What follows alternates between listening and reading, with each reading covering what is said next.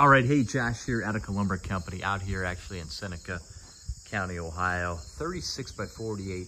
Now in this video, I wanna to talk to you about a couple different ways we set up the header here. As you probably can see on the door openings right here. You can see right there, obviously it's a road, but this is gonna be an eight by 16 and a 12 by 14. All right, so I'm gonna show you, share with you, you know, there's different ways to do this. You can see you can do an LVL what we did here on this 12, or actually by, uh, what, would, what did I say here? It was a 16, so we're spanning 16 width here. So what we set up here is two by 12s. You see how we did a double top beam right there. Now you got your header supporting the trusses right up there, two by 10.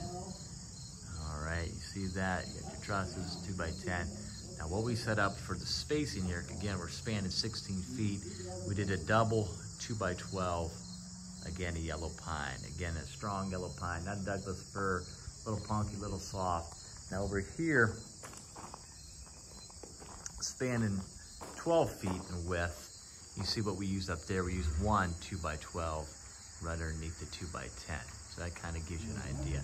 Now the truss system that we used here, two by six bottom chord, and then also a two by six top chord. Again, that's 2100 MSR lumber.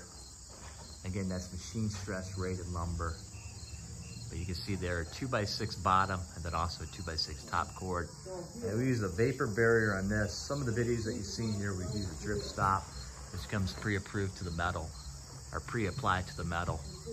But we use a, a, a, vapor barrier here, again, for condensation control. Again, a 32 by 48 post frame building, 16 feet tall, early stages here, getting it framed out.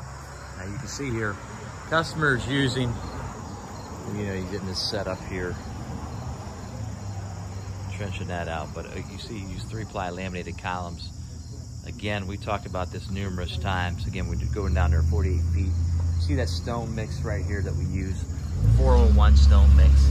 But again, a strong, a good choice here, three ply. Again, four by six, six by six, three ply, four ply, concrete perma columns you know, wet set. I mean, there's different options, but for this building, 36 by 48, this is probably the most practical, economical solution.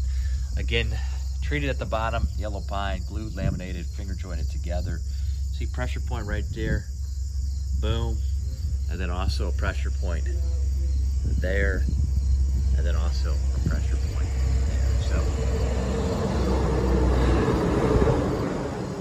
three ply laminated columns give this building good strength for the span here of 36 by 48. So just a couple things I want to share with you there. Again, like the video, boom, give it a thumbs up.